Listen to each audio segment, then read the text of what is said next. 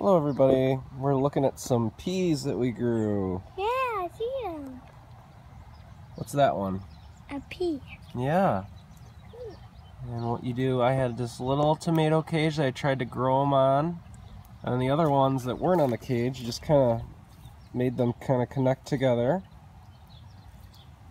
I did them a little bit closer than what the uh, packet said.